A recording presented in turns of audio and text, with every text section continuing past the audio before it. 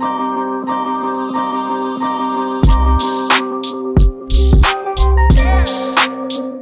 What's up guys? Thanks for tuning in. I'm Josh Mosiman and welcome to This Week in MXA, episode number 79, presented to you by O'Neal Racing. Thank you guys for tuning into this video. We got a lot going on in the motocross and supercross world. Cooper Webb just re-signed with KTM. Max Anstie, he just signed with the Firepower Honda team. He's racing this weekend at Redbud. And we have an interview with Marvin Musquin from last Thursday at Glen Helen. Marvin was riding a Husqvarna FC450 Rockstar Edition bike with all white plastics. He had some KTM wheels on there with orange hubs and he was testing suspension with the WP group and the KTM R&D department. He said, I don't have my any plans for next year. I don't know my plans for next year. I'm still working on my details for what's going on next. So I can't talk about that, but I'm willing to do an interview. So we said, great. Check out some of the interview right here where we talked to Marvin and he explains his thoughts of outdoors right now, what it's been like for him to watch this season. Also asked him about riding stock bikes. He also talks about just uh, his plans and goals for getting a Supercross only contract for 2023. So lots of cool stuff talking with Marvin Musquin. It's going to be interesting to see what happens with him next year. But for now, let's dive into this interview we got with him at Glen Helen. All right, guys, we're at Glen Helen today. It is loud and uh, some of the track is dusty because the electricity is out here, so they don't have any water hoses, just the water truck running around. But we saw Marvin out here all white gear, and he's on an all white bike today. and uh, testing with WP, um, trying some suspension settings and stuff like that. So, Marvin, what are you uh, what are you up to today at Glen Helen? Well, doing some riding basically. You know, uh, it's actually the first time in over 12 years that I'm not doing anything at this time of the year. Uh, because uh, yeah, no racing outdoors. So since I uh, moved to America, I've been racing outdoors for like to 12 last year. So yeah, I'm here uh, just to do some riding and not uh, losing, um, you know, any kind of fitness. Even though you lose so much in like, I feel like in two weeks after Salt Lake City, two to three weeks, you lose everything. Really? Like it's it's insane. So um, no, just uh, I came already uh, a, a, few weeks ago uh, with Ryan Morais and the R&D KTM and riding the two strokes. So it was a lot of fun. And then right now it's on the 450. Nice. Uh, we do have a 125 as well, so nice. it's gonna be fun. Nice, cool. And uh, so, what are you doing? I mean, are you riding for fun, or are you testing, or what are you up to? Yeah, it's, it's all it's all fun and uh, and also helping them if I can, yeah. obviously. So uh, yeah, I got in touch uh, with Ryan Morais, and uh, yeah, I told him I wanted to do some riding, and he said, "Hey, you can join us and uh, and do some uh, some yeah testing for for the R&D." So never done it before. Uh, I always enjoy riding stock bikes, especially you know new ones, and yeah. see the the progress they they're making. So uh, yeah, that's about it. Super fun. What do you think of the? As I got to ride the fuel injected two strokes a couple times now, twice. The uh, 300 KTM 250 and 125 KTM, and then the 250 125 Huskies. We got two days on them, and they're super fun. But what what do you think about those bikes? Well, like I told them, you know, I don't have a lot of experience on two strokes. To be honest, uh, I only raced two strokes when I was 16. Well, that was about one year uh, on 125. So since then never uh, raced or, or ride a, a two-stroke, so it was a lot, lot, of fun. I had the one, 125, the 250, and the 300. Nice. So uh, yeah, I was super excited. Uh, you know, fuel uh, injected and an electric start on two strokes. I mean, it's pretty crazy. So it's cool to see KTM, you know, uh, yeah, progressing and uh, once again ahead of the competition. You know, other brands. So it, it's cool. Um, it was on the worst like conditions ever because right. it was like a, a day where KTM rented the track, so basically no water. Uh, and it was rough from the day before. Yeah. And on the two strokes, and I actually had fun. Really? So yeah, it tells me that the bike was uh, was good. Nice. That's cool. That's cool. And uh, so you race Supercross. Now you're taking the summer off and uh, working on plans for next year. I, I, would assume. So what's it like watching the nationals and watching Cairoli been, has been racing, your old teammate Dungey has been racing, and just seeing uh, the guys that you race with in Supercross. What's it like? Are you following the nationals closely, watching qualifying in the morning and and studying like looking intensely at it, or are you taking a step back and relaxing a little bit on the weekend? No, I mean, now I'm watching. I'm watching it for sure. Uh, it was cool to see uh, Antonio Cairoli. Uh, we spent some time with him. A couple weeks, uh, I went to Pala, so hanging out with him, it was awesome. Uh, a little bit of riding as well with him. So, but watching the nationals, I'm not like deep deep into it on the morning in the morning watching lap times and stuff, but I do watch the models for sure, and it's uh, it's been some it's been some awesome racing, and it's not that weird for me not being out there because I, I knew since like last October that my contract was Supercross only, so Yeah. I feel like mentally when you know it's gonna be like that, it just it is what it is. So I'm uh, now I'm trying to you know, focus on uh, obviously the break, but focus on what I can do uh, in the future. And uh, I mean in the future, like get a new contract and race Supercross next year. Nice, super cool. That's that's exciting to hear. Uh, what what are your thoughts on like watching the races? Have you did you go to Pala or anything? Yes, I was at Pala. You were at Pala. So what is it like watching the races on TV, watching them from the sidelines, and then seeing the competition, seeing the tracks? Like, is it does it look harder than you would like you would think, or does it look easier, or what what is it like being on the sidelines for a guy who's up there mixing in? Yeah, honestly, it looks easy. Yeah. You know, when, when you watch and you're like, oh man, that looks easy, or uh, I don't know, like, like, oh, it's not even rough, or, or even if it's rough, when you watch those guys, it, it, it looks easy. So Yeah. definitely, it's hard watching and, and realize how rough the track is, or how rough it is to do 30 minute motos like that. Yeah. So, I mean, yeah, that that's all. I mean, I was watching, I enjoyed it. It was uh, it was fun to be out here uh, at Pala with Cairoli, and then being on the on the other side, you know, the fence kind of. So it was Nice. the first time for me. What do you think? What do you think about Dungey coming back? Like, obviously everybody keeps talking about it, but he's he got better last week in a high point. So what, yeah, like? to be honest, it feels like Dungey never stopped racing. I mean, my opinion on Ryan is uh, he's super healthy, uh, strong physically, and never got injured really in, in his uh, in his career. So, and this is huge. Uh, I've always said, you know, until my body is. Um, Okay, I would say to, to be to be racing at, a top level, I'll be racing.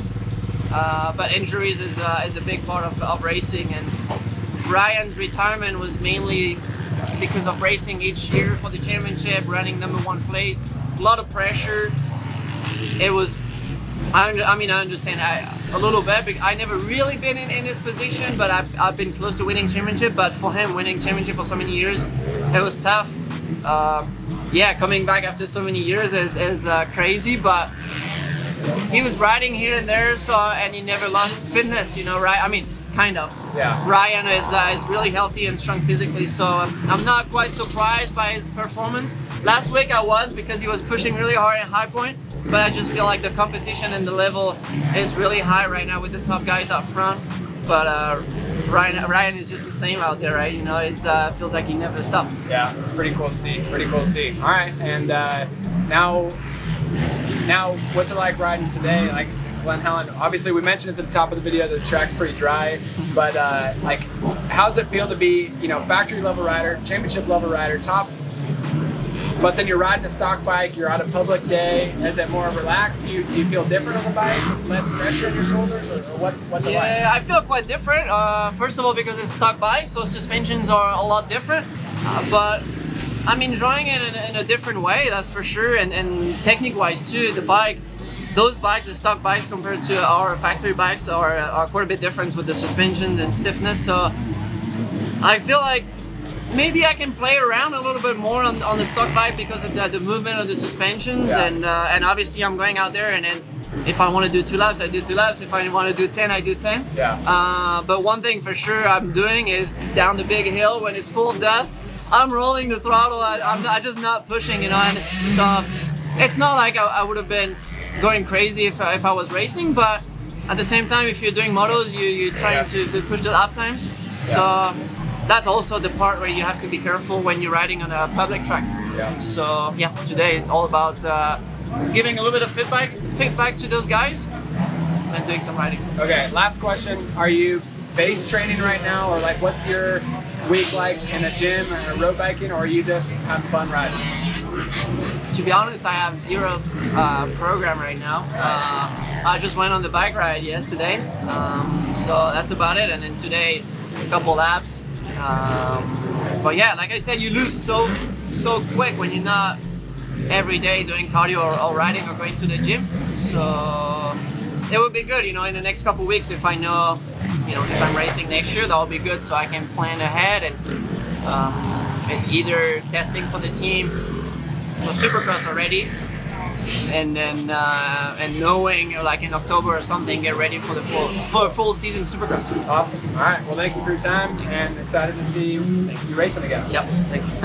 Sweet. Next up, we got to talk about Cooper Webb. This guy just re-signed for the 2023 Supercross season with the Red Bull KTM team. Cooper is a two-time 450 Supercross champion, and after the 2022 Supercross season, he decided to take the summer off to heal up from multiple injuries that were kind of nagging him through the Supercross season and uh, just rest and recover. He also has a baby on the way. It's been fun watching him uh, riding in North Carolina and riding back east. He even did an off-road race this past weekend that he posted about on Instagram. So cool to see uh, Cooper Webb having fun on his motorcycle this summer, and it'll be interesting to see what he does in 2023. Win the Supercross Championship, um, doing Supercross only. Is he gonna decide to race outdoors mid-year? Because racing outdoors, you really have to decide that maybe February or March uh, to start ramping up your outdoor training mid Supercross. So I personally hope to see him at Supercross and motocross in 2023. We also got some news for Max Anstie. Max was the third rider on the Rocky Mountain KTM team this Supercross series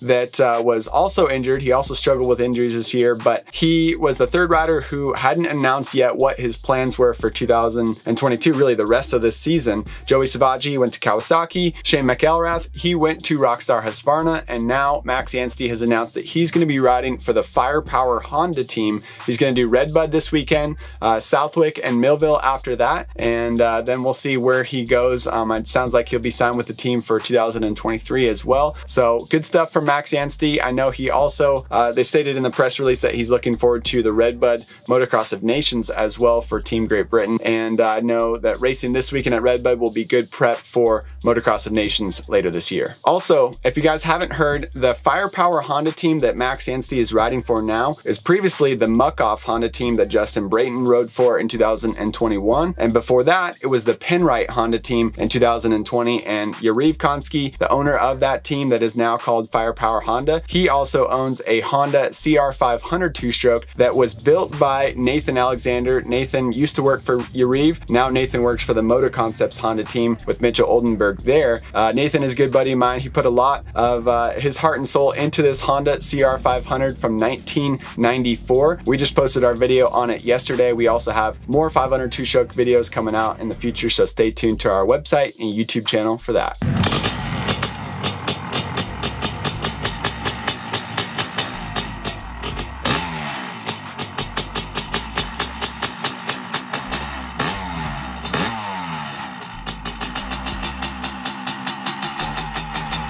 Also, this past weekend, I did some racing out at Glen Helen and Josh Fout, MXA test rider, he raced with me. Did some racing at SRA, the Grand Prix off-road racing. It was a 45 minute moto, 100 degree heat, pretty brutal, um, but just good training for uh, getting ready for the last couple nationals. I plan to race Washougal and Pala, so got to get a sweat on. Uh, here's a couple clips from Glen Helen on Sunday. Also, we have a little service update on the 2023 Husqvarnas, and we assume the 20, 2023 KTMs that we're going to be riding here starting this week. Spokes are coming loose and they're coming loose fast. Check out this video.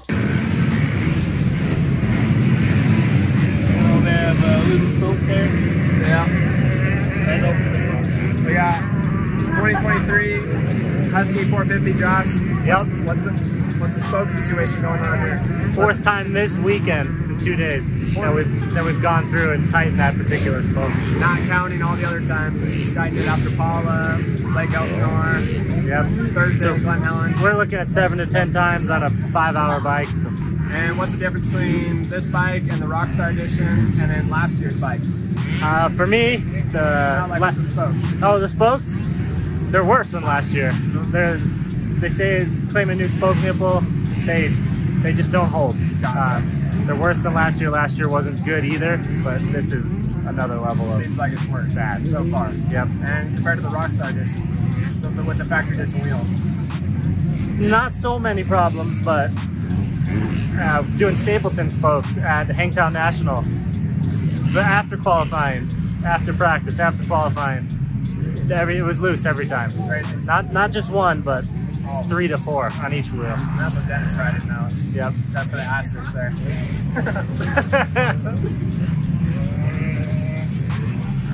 All right, guys, thank you for tuning into this video. Uh, Redbud Nationals coming up this weekend, so check out motocrossactionmag.com for news, race results, point standings, and stuff like that headed into Redbud. Also, subscribe to our YouTube channel and click the bell button to get notifications whenever we release a new video. And if you haven't seen them yet, click the thumbnails now for some of our more recent uploads.